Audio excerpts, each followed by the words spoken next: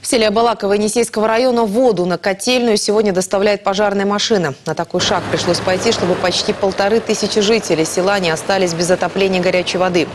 Причина в том, что водопровод не выдержал 40-градусного мороза. Труба, по которой в село поступает холодная вода, частично перемерзла и давление в системе сильно упало.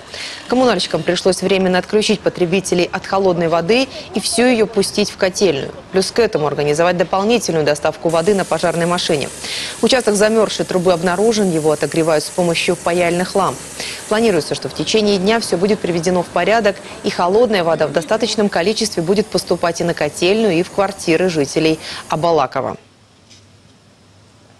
Холодный водопровод не, скажем так, был перекрыт для того, чтобы обеспечить э, водоснабжение котельной. Люди просто разбирают из горячей системы отопления воду. Поэтому для того, чтобы не остановить котельную, мы просто воспользовались, скажем, МЧС в рамках подписанного соглашения. Все обусловлено тем, что низкий разбор воды, меньше 5 кубов в ночное время.